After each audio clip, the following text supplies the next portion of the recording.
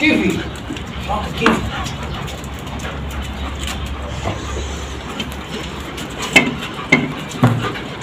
ازيكم يا جماعة؟ عاملين إيه؟ يا رب تكونوا بخير. النهارده يا جماعة هنتكلم عن موضوع مهم جدا. هو موضوع ذعر.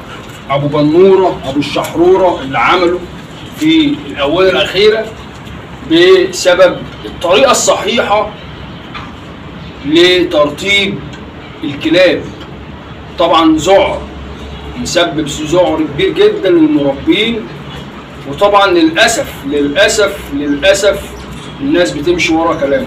كل ده هنتكلم عنه النهارده وهنعرفك إيه هو الذعر وإيه هو الكارثة اللي هو عاملها. أبو بنورة بتاع قنوات البحيرة تابعنا عشان تعرف إيه هو الكارثة وهو الذعر اللي هو مسببه للمربين الكلاب وطالع عمال يمدح في نفسه وبيقول هقول لكم على الطريقة الصحيحة. يا ريت ما تفوتش الفيديو. لو أنت أول مرة تشوفني النهارده أنا أبو مصطفى صاحب قناة فيروس كامل كده تدريب وعلاج الكلاب. ويا ريت تشترك وتفعل زر الجرس للكل عشان يوصلك انت اول واحد كل يوم. ما تفوتش الفيديو ويلا كلاب القاهره تحياتي ليك تحياتي الناس اللي مش معاك القناه تحياتي لجميع مربين الكلاب وغاد الكلاب في مصر. والوطن العربي تحياتي. بالجميع يا رب رجع لكم فيديو جديد. طبعا يا جماعة بقالنا حوالي شهر. داخلين على شهر ما نزلناش فيديوهات. لأني طبعا كنت بعمل زي ما قلت لحضراتكم آه، مشكلة صباع اللي هو الوتر ومشكلة الركبة. أو الكوع ولا إيه؟ آسف. آه، عندي في المسامير والشرايح اللي أنا. طبعا كنت بقى قاعد بقى بتفرج على ده وعلى ده وعلى ده من بعيد. وللأسف قابلني فيديو. أبو بنورة كان جاي له كلب. الله أعلم كان جاي له ولا هو بتاعه ما تعرفش. والكلب يا ولداه كان في اللحظات الأخيرة من مشكلة الاحتباس الحراري.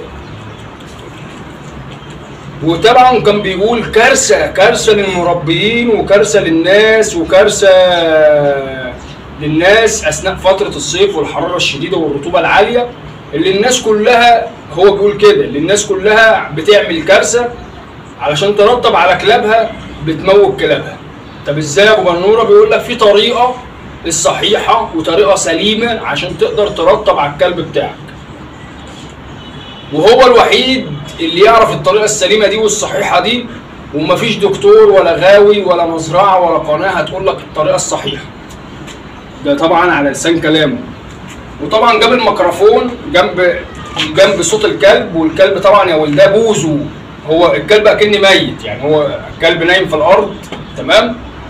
وطبعا لا حول بيه ولا قوة الكلب. الله أعلم بتاع عميل عنده ولا زبون عنده ولا واحد جايبه له ولا ولا الله أعلم دي مش قصتنا.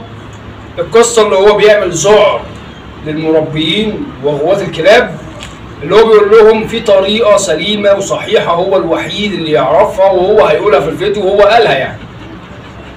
آه، اللي هو الناس كلها بتمسك الخرطوم بتضرب على الكلب مباشرة عشان ترطب عليه. إنما هو بيقول لأ الطريقة دي غلط وفي طريقة صحيحة وسليمة عشان ترطب على الكلب أثناء فترة درجات الحرارة العالية والرطوبة العالية. والكلب ده يا جماعة بيقول على لسانه اللي هو ما عندوش احتباس حراري قام جاب الميكروفون عند آه، بقه وقال لك ده شوف الصوت بتاعه عامل إزاي. طبعا الكلب بينهج جامد. طبعا الرئة من كتر الاحتباس الحراري مضغوطة. يقول لك لا ده عنده التهاب رئوي أو عنده التهاب في الرئة. وهو اداله علاجات ومش عارف إيه وهو هيقول على علاجات في الايه الفيديو اللي بعد كده يعني. المهم طب إيه الطريقة الصحيحة؟ قال لك اصبروا عليها أقول لكم الطريقة الصحيحة ومفيش دكتور ولا غاوي ولا قناة هيعرفوا الطريقة الصحيحة بتاعه رش الكلاب وترطيب الكلاب. أكني أصبح دلوقتي في عالمنا طريقة صحيحة يا ابو النوره هو الوحيد اللي يعرفها هو الوحيد اللي هيقولها لنا وهو الوحيد اللي هينقذ كلابنا من الاحتباس الحراري لأن كلنا ماشيين في غلط وهو الوحيد اللي عنده طريقة صحيحة وسليمة أكنها إرشادات أكنها إرشادات الأمن الحيواني أو الأمن الكلابي أو الأمن أو الأمن بتاع أبو منور. هنسميه الأمن بتاع أبو منورة لترتيب الكلاب. وبيقول لك في قنوات هتاخد المعلومة والفكرة وهيقولوها ومش عارف إيه وربنا يسهل لهم. هو أنت عندك مشكلة مع الناس لما تاخد الطريقة الصحيحة والسليمة وتنشرها ولا انت عاوز تحتكر كل حاجة وخلاص؟ طيب. نيجي بقى عشان ما نطولش على حضراتكم إيه هي الطريقة الصحيحة والسليمة لترتيب الكلام اللي هو قال عليها أبو بنوره للأسف لما يكون في بني آدم فاكر نفسه اللي هو فاهم كل حاجة تأكدوا تأكدوا اللي هو ما يعرفش ولا حاجة. إيه هي بقى الطريقة اللي هو بيقول عليها؟ الطريقة اللي هو بيقول عليها اللي انت تمسك الخرطوم وترش على الحيطان ميه تمام؟ أثناء الجو العالي ده والحرارة العالية دي والشمس العالية دي ترش على الحيطان الكاميرا كده توضح. ترش على الحيطان ميه تغرق الحيطان كلها ميه تمام؟ وتغرق الأرضية كده تندي الأرضية. قال لك هي دي الطريقة الصحيحة والسليمة لترطيب الكلاب. عشان الكلب ما يجيلوش احتباس حراري أو الكلب ما ينهكش أو الكلب اللي هو إيه يرطب على نفسه. هو ده الجهل بقى بعينه. هو ده الجهل بعينه. أكترية معظم سكان القرى الأرضية في مصر بيعملوا نفس الخطأ ده. أكترية سكان الأرضية القرى الأرضية بتاعتنا في مصر بيعملوا الوضع والغلط ده. لأنهم معتقدين إن لما يجيب الخرطوم ويرش الشارع أو يرش المزرعة أو يرش عنده الجدران يبقى هو كده بيعمل عملية ترطيب للجو. إنما للأسف انت بتعملش عملية ترطيب للجو إلا إذا. الا اذا دي في الآخر افتكرها. أنت كده بتعمل عملية إيه؟ ضخ. ضخ أو امتصاص للجدران الترطيب. بعد ما الجدران دي المية اللي هي شربتها. هتنشفها في 10 دقايق أو في ربع ساعة. تأكد إن هي هتنشفها في الجو العالي ده والحرارة العالية دي والرطوبة العالية دي هتنشفها بسرعة. طيب بعد ما تنشفها الجدران سواء طوب أو محارة أو أي حاجة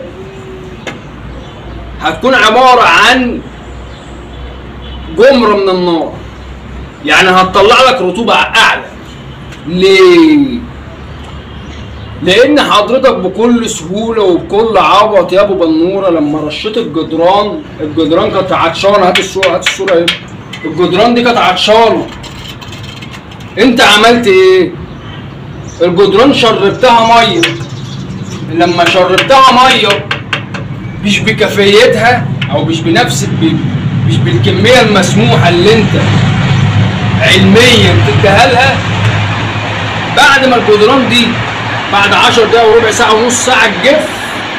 الحيطة دي الحيطة دي أنا كده حاطط إيدي عليها عادية دي أمر طبيعي. لو أنت رشيت مية على الجدران دي والأرضية دي تمام؟ ونشفت بعد ما كانت فيها سن الطراوه وسن الترطيب الجدران والأرضية دي هتكون عبارة عن كتله من النار. ليه؟ لأن هي أصبحت جفت اتحمصت بالبلدي. بتطلع حرارة أزيد من اللازم. ليه؟ لأن الجدران ضارب فيها الشمس أو الحرارة المرتفعة أو الرطوبة. الجدران أكنها عاملة زي الموتور بتجري علشان تنشف اللي عليها بسرعة. طب بعد ما تنشف اللي عليها بسرعة وبذلت جهد الحرارة هنا الجدران هنا دي حاجة ربانية. الجدران هنا خدت كل القوة علشان تنشف وتحمص المية دي. هات انت كده شوية حلة بالبلد هات هات, حلة كده على النار بالبلدي وخلي الحلة دي حطها من غير زيت ولا أي حاجة وحطها على النار أو هات طبق عشان أعرفك بس يعني علميا. وبعد ما الحلة تسخن خالص أو الطبق يسخن خالص حط عليها حط عليها كوباية مية. مش هقول لك مش هقول لك نقطة مية كوباية كده صغيرة من المية. بعد ما الحلة تكون سخنة خالص ومتلهلبة خالص وهي على النار شغالة حط عليها شوية مية كده. بعد خمس دقايق وعشر دقايق المية دي مش هتلاقيها في الحلة. ليه؟ نشفت جفت. طب بعد ما جفت خلت الحلة دي الألمونيا دي أو الاستانلس أو الحديد دي بقت شديدة من اللهلبة بقت جمرة من النار. ليه؟ لأن النار استفزت المية والمية استفزت النار عملوا تفاعل تعاضدي مع بعض بس سلبي.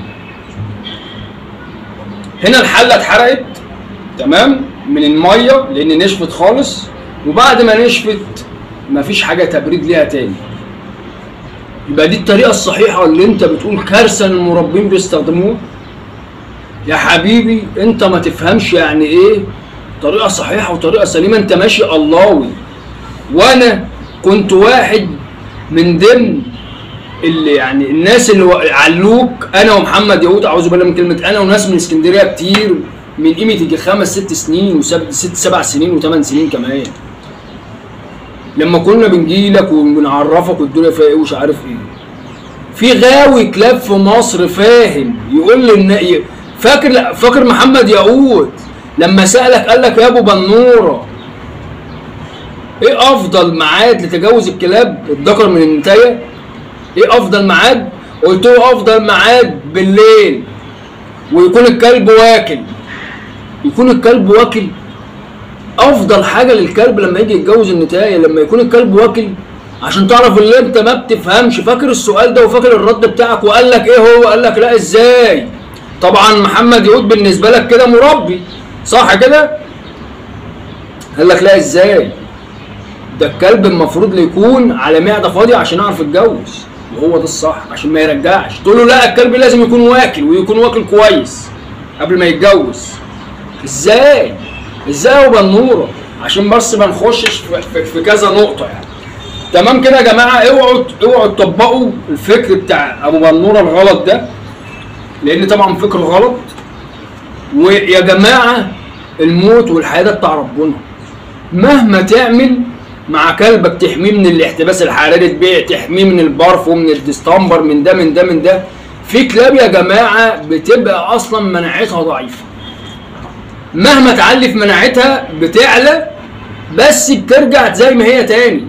زي البني آدم النحيف مهما ياكل هو نحيف. أنا من هنا للسنة الجاية لو كلت مش هضخم ليه؟ أنا النمو بتاعي كده. في بني آدم تاني في نفس الهيئة بتاعتي أول ما يأكل ومش عارف إيه يعرض ويضخم في دي جينات يا جماعة. يا جماعة الموت والحياة ده بتاع ربنا. ممكن تبقى أنت مهتم بكلبك جدا وبتحميه جدا وكويس وفيتامينات ومش عارف إيه وهو كلب واحد. مش مجموعة كلاب بقى. وبعد ده كله تصحى الصبح تلاقي الكلب مات احتباس حراري هو أنا النهارده لما باجي أقول لك الوقاية من الاحتباس الحراري ونعمل كذا ونعمل نحط ليمون ونحط مش عارف إيه وندي وندي فيتامينات وندي ونأكل صح أنا صحيت الصبح تلاقي الكلب مات هل أقول إيه؟ ده إزاي؟ أنا ده أنا مديله وقاية؟ ده روح يا جماعة دي روح أنتوا فين يا مؤمنين؟ يا إخوة أقباط أنتوا فين؟ الدين الله والوطن للجميع دي روح ما تزعلش عن الروح اللي هي ماتت منك ماتت منك عن إهمال يبقى أنت تزعل. اللي أنت قصرت في الروح. بس أنت اللي هتشيل الوزن مش اللي أنت مثلا حطيت وقايه وعملت فيتامينات وأكلت سليم والكلب مات منك تزعل. هو أي نعم لازم نزعل. بس مش تزعل اللي أنت بقى هتموت وتعيط ومش عارف إيه و... لأ. دي روح معرضة في أي وقت للموت.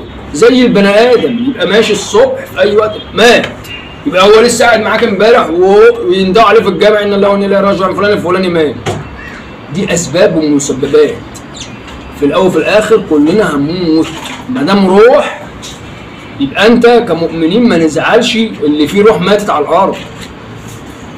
وكمان خاصة كمان النهارده عشان ما نخشش الأمور سياسية وكمان عشان موضوع النور وكده دي حاجة هنبقى نتكلم عليها في فيديوهات بعد كده. يبقى النهارده حلقتنا اللي أنتوا يا جماعة احذروا من الجهل ده. احذروا احترسوا من المربين وغواة الكلاب الجهلاء أمثال أبو بنوره وغيره. يقول لك طريقه صحيحة وطريقة سليمة و... يا حبيبي الكلب الكلب عشان ترتب له منطقة ترتيب الكلب اللي هو الكفوف اللي هي إيده من تحت رجله من تحت. غرق مية زي ما إحنا عاملين كده. تعالى كده. الكاميرا توضح. خش جوه يا جوليا يلا. شوفوا يا جماعة. أهو أروانة فيها مية. والكلاب بتحط رجليها في المية وبتغرق هي الكلاب بتحط رجليها وبعد ما بتحط رجليها بتبقى في مية بيطلعوها على الأرض هو ده الترطيب هو ده الترتيب تعال هنا تاني إنما ما ينفعش بقى أغرق الحيطان وأغرق الأرضية ومش عارف إيه. والكلب لا يا حبيبي لا الكلب اللي. اللي الكلب لما عشان تقول لي الكلب يحصل له احتباس حراري لما أنا اغرقه إيه العبط ده؟ كلب ممكن يجي له احتباس حراري أو اي حاجة من ارتفاع درجات الحرارة. مفاجئ مهما تعمل مفاجئ. ما بي ما بيميزش لو والله لو لو جار عنده يوم ومناعته عالية زيادة على اللزوم وهيموت هيموت لو كلب عنده عشر سنين أو خمس سنين ومناعته عالية وربنا راد اللي هو عاوز ياخده ويموت هيموت. بس إحنا بنعمل إيه؟ بنعمل اللي علينا مع الحيوان بتاعنا. عشان إحنا يبقى قدام ربنا ما قصرناش. يبقى يا ريت يا جماعة ما فيش حاجة اسمها نرطب على الحيطان ومش عارف إيه يا جماعة. لا انت كده بتعمل عملية ترطيب أعلى. بتعمل عملية رطوبة عالية. مش ترطيب بتعمل عملية رطوبة عالية.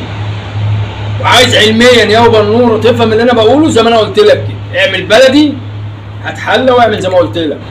أو جيب جهاز الرطوبة يابا النوره واعمله. قيس درجة الحرارة عندك قبل ما أنت ترش. وقيس درجة الحرارة بعد ما المكان يجف. هتلاقي درجة الحرارة لو هي 40 قبل ما أنت ترش نزلت ل 38 تمام؟ طيب بعد ما المكان جف بقى من ال- المية اللي أنت عملتها درجة الحرارة بعد ما هي كانت 40 هتوصل معاك ل 43 5 شفت بقى كمان؟ ولو وصلت معاك ل 40 زي ما هي رجعت 40 زي ما هي ركز معايا هتلاقي الرطوبة عالية خالص. الجو الشمس ده الشمس ده الكلب ما بيتأذيش منه الكلب بيتأذي من الرطوبة العالية. وإحنا بنتأذي من الرطوبة العالية. ممكن يكون الحرارة شديدة جدا بس ما فيش رطوبة الجو حلو. تقدر تستحمل. هو اللي يميز اللي يميز الحيوان عننا اللي إحنا بنعرق الحيوان ده لو بيعرق هات كده هات كده هات جوليا كده شوف جوليا عاملة إزاي. كانت نايمة مهنجة. بص بص درجات درجات القلب عاملة إزاي؟ التنفس عاملة إزاي؟ لو انت بقى رشيت الحيطان ومش عارف هم قاعدين كده اهو أنتوا كده بتضروهم يا ريت تكون المعلومة وصلت وانتظروا الفيديوهات الجاية إن شاء الله بأمر الله. كيفي؟ تعال.